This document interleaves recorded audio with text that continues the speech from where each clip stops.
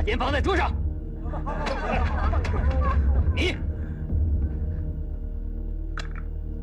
去，把钱统统装进去。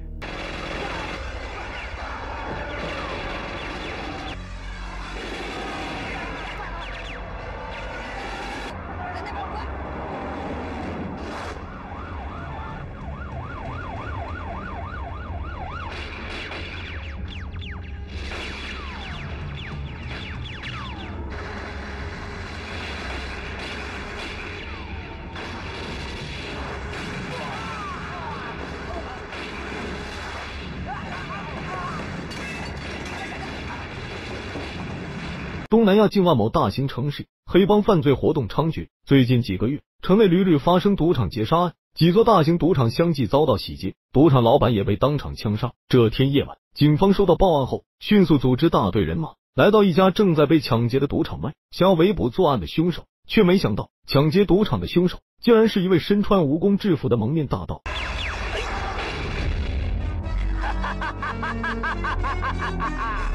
这名蒙面大盗号称飞天蜈蚣，他的身份非常神秘，专门抢劫赌场。飞天蜈蚣拥有一身高科技装备，身上的制服不仅具有防弹功能，而且可以帮助他在空中滑行。此外，飞天蜈蚣武艺高强，枪法如神。警方虽然出动大队人马，却被他单枪匹马打得落花流水。他还有一辆黑科技摩托车和一辆改装蜈蚣车，摩托车能飞天遁地，蜈蚣车能发射导弹。看了飞天蜈蚣的装备，大洋彼岸的蝙蝠侠老铁也直呼内行。飞天蜈蚣靠着黑科技装备，在警方的围捕下全身而退。警方这次抓捕行动失败后，警察局的局长奥尔斯来到了当地议员的办公室请罪。议员劈头盖脸骂了奥尔斯一顿，怒斥他实在无能。虽然赌场是灰色产业，但却是议员重要的经济来源，命令他尽快破案。局长奥尔斯为了能尽快破案，特意调来了当地的华人神探欧阳龙协助办案。又是一天晚上，警方收到情报，当地一间地下赌场内。有大型赌局，推测飞天蜈蚣肯定会有所行动。警方提前安排了便衣，乔装成赌客埋伏在赌场内。晚上在赌场内，一群黑帮分子正在进行俄罗斯轮盘赌。飞天蜈蚣突然闯入，持枪威胁赌客们交出所有的钱。欧阳龙也在赌场内，他假意配合飞天蜈蚣，并试图夺下对方的武器。其他埋伏的警员趁机拔枪射击。然而飞天蜈蚣毕竟穿着防弹制服，寻常子弹根本伤不了他。双方在赌场内展开交火。飞天蜈蚣丢下一枚烟雾弹，趁乱逃走。经过这次挫败后，欧阳龙决心亲手逮捕飞天蜈蚣。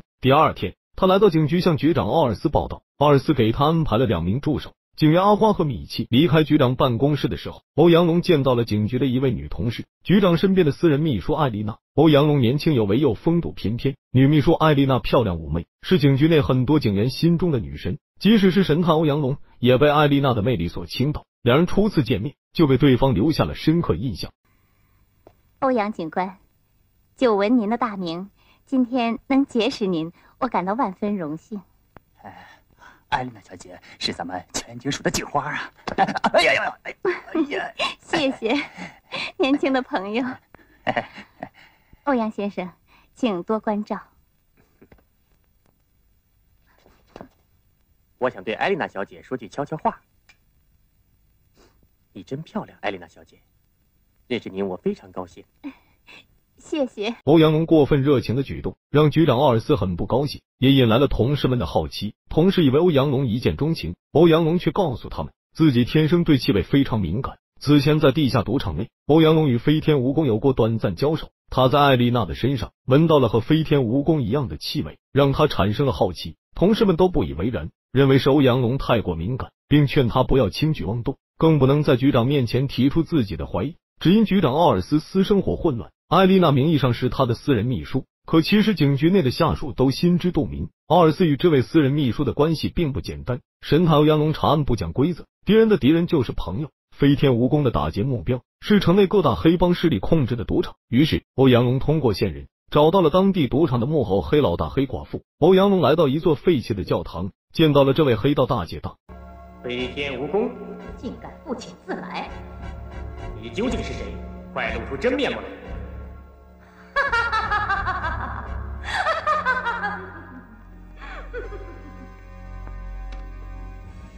老子就是飞天蜈蚣。不，没有证据，还不能证明你就是飞天蜈蚣。那么，你说我是谁？哼哼黑寡妇，你欺负我是初来乍到吗？黑寡妇虽然将飞天蜈蚣视为死敌，却一直没能查到对方的真实身份。欧阳龙没能获得线索，准备离开教堂的时候，黑寡妇却命令手下包围了欧阳龙，持枪威胁他帮自己要回一批刚刚被警方查处的毒品。欧阳龙为人正直，不肯答应帮黑寡妇做事，他假意束手就擒，趁机夺下了一名打手的武器。双方在教堂内发生火拼，然而黑帮人多势众，欧阳龙的子弹很快打光。危机时刻，艾丽娜居然持枪赶到。两人联手杀出重围，带着欧阳龙逃到了自己的住处。在艾丽娜的家中，欧阳龙发现了一幅自己的画像。他问艾丽娜为何如此关心自己。艾丽娜解释说，在整个警局内，能让他欣赏的人只有他这位华人神探。欧阳龙了解艾丽娜在警局内的开放作风，不愿与对方扯上关系，只好转换话题，试探的问艾丽娜怎么会来救自己。艾丽娜声称是奉了局长奥尔斯的命令，特地赶来接应欧阳龙。欧阳龙并不相信艾丽娜的说法。认为对方一直在监视自己，艾丽娜却说自己是局长身边的秘书，曾经看过欧阳龙的档案，了解他从小就是孤儿，父亲也是一位因公殉职的警察，受父亲的影响才加入警局。艾丽娜提出让欧阳龙暂时住在自己家中，躲避黑寡妇的报复。谨慎的欧阳龙并没有答应，只是对这位神秘的女秘书越发感到好奇。晚上，艾丽娜独自出门，开车来到了当地的一家豪华酒店。酒店的房间内，局长奥尔斯已经等在这里。声称要和艾丽娜商量案情。等艾丽娜进屋后，他端着一杯红酒，催促艾丽娜赶紧喝下去。艾丽娜早就看出对方不怀好意，谎称自己突然胃疼需要吃药，趁机将酒杯调换。奥尔斯本想下药迷晕艾丽娜，却没想到自食其果。嗯。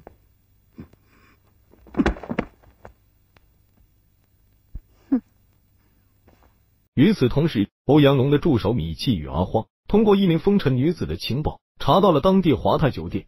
将有一场大型赌局，怀疑飞天蜈蚣可能会再次出手犯案。第二天，欧阳龙来找局长奥尔斯签署文件。欧阳龙请局长签字的时候，主动向对方感谢了昨天的救命之恩。可局长奥尔斯却对教堂火拼的事情一无所知，这让欧阳龙在内心越发怀疑艾丽娜。晚上，警方在华泰酒店内外布下大队人马，准备抓捕飞天蜈蚣。结果这次飞天蜈蚣却改变了策略，先用迷烟放倒酒店内的所有人。再抢走桌上的现金，好在欧阳龙早有准备。他在酒店外的树丛内发现了飞天蜈蚣撤离用的摩托车。欧阳龙破坏了摩托车的发动机，同时安排大队人马埋伏在附近，打算守株待兔。然而飞天蜈蚣的黑科技太过厉害，竟然直接骑着摩托车飞出了警方的包围。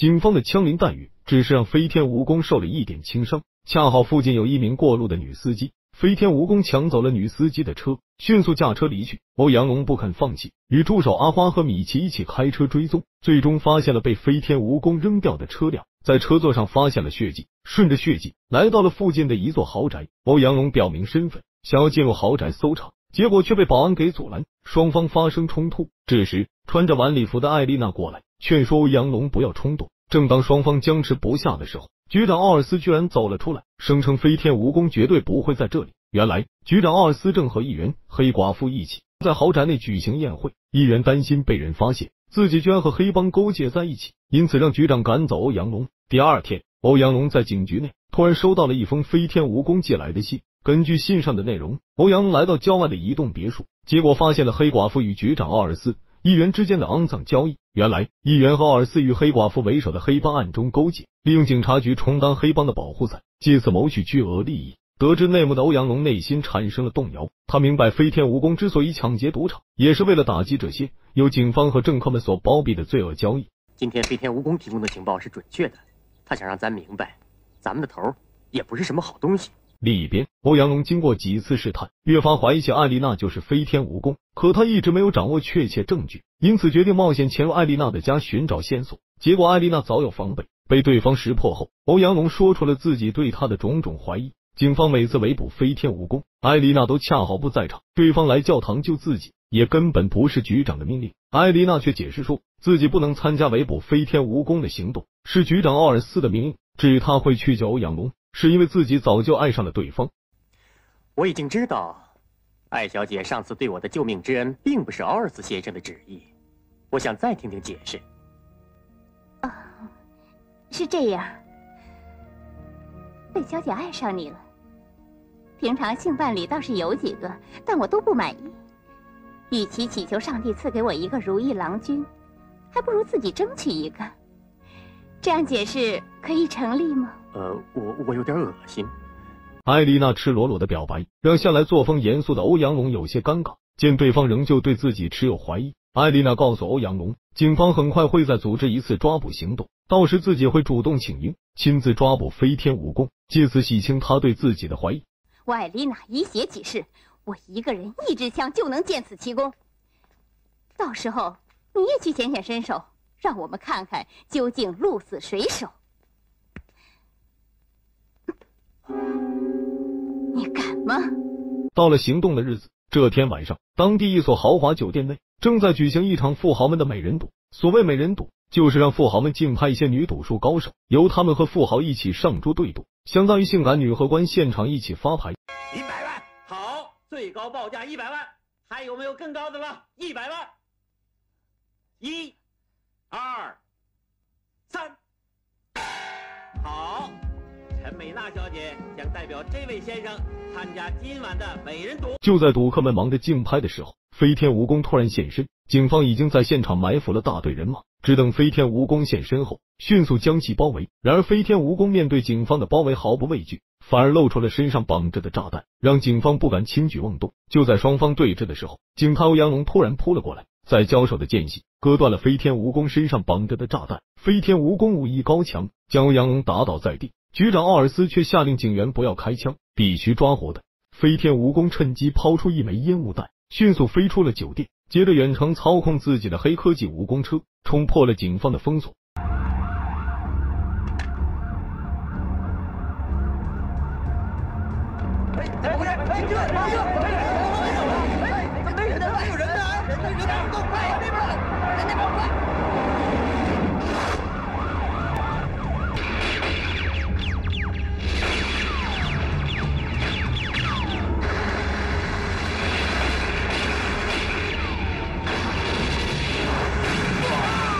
飞天蜈蚣虽然摆脱了警方的追踪，却在撤退的路上遭到了黑寡妇的手下的埋伏。飞天蜈蚣冒险杀出重围，但蜈蚣车损毁，自己也受了伤，只能逃往附近山上的秘密基地。欧阳龙一路追踪，也来到了山上，终于发现了飞天蜈蚣的真面目，正是他一直怀疑的艾丽娜。欧阳龙对此并不惊讶，他之前已经调查过艾丽娜的身世，知道艾丽娜是一名孤儿，被美国养父收养。成年后进入西点军校受训，后当了一名警察，但他非常仇视赌场黑帮，经常滥用私刑，最终被警局开除。之后养父利用关系安排他来到东南亚担任局长奥尔斯的女秘书。艾丽娜并没有否认，她向欧阳龙讲述了自己成为飞天蜈蚣的原因。原来艾丽娜的亲生父母死在这座城市的赌场黑帮手里，让她非常憎恨这些黑恶势力。成年后，艾丽娜靠着军方研发的高科技武器，发明了这套飞天蜈蚣的制服和装备。之后，艾丽娜回到这座城市，以飞天蜈蚣的身份抢劫赌场，目的就是想替父母报仇雪恨。看，这就是我乔装打扮的怪装，它用美国最新金属材料 VUW 制成，不仅轻柔薄俱佳，而且防弹，在他们国防部现在还属绝密呢。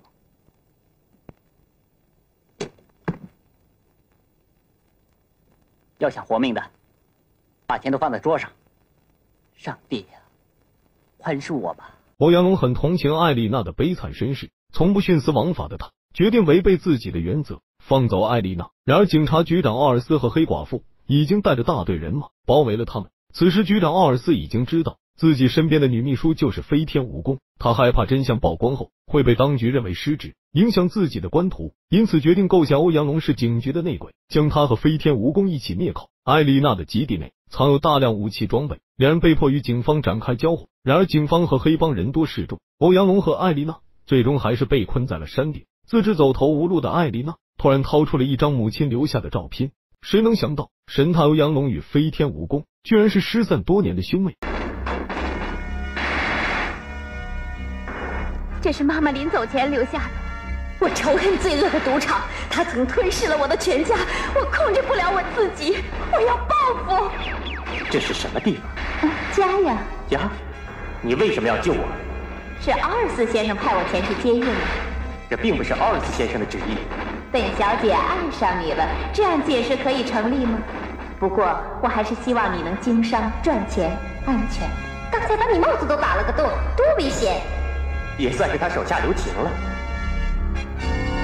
我们是异父异母的亲兄弟啊！兄妹两人时隔多年重逢，却是在这样的悲剧场合，最终在警察和黑帮的步步紧逼下，被逼上绝路的兄妹两人抱在一起，依然引爆了炸弹。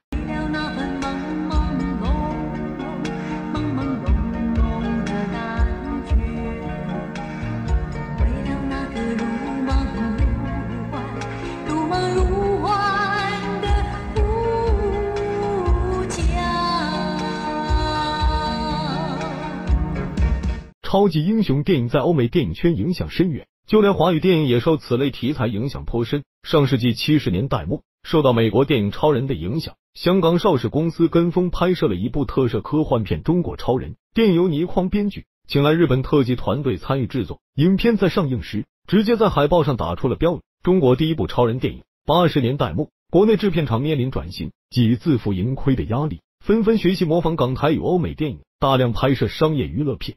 其中以吸引长影和恶影为代表，出品了一系列画风前卫、尺度猎奇的电影，因而造就了国产邪典电影的热潮。在此背景下，长春电影厂大胆试水，拍摄了这部本土超级英雄电影《飞天蜈蚣》。影片完全就是在模仿 DC 的蝙蝠侠，讲述了一位只在暗夜间活动，靠着各种高科技装备打击罪恶的飞天蜈蚣侠的传奇故事，堪称国产邪典电影领域的另类神作。影片融合了科幻、动作、犯罪。奇情等类型元素，编剧钱导演年轻时候就写过不少著名商业电影的剧本，如《峨眉飞盗》《国际大营救》等等。最神奇的是，他还编剧过东方文英主演的抗日雷片《人乃魔超》。演员方面，该片的女主角是二十二岁的瞿，男主角是著名演员吴刚。整部电影的情节能够很明显的看出，创作者对于外国超级英雄电影的模仿。故事被架空在一个高楼林立。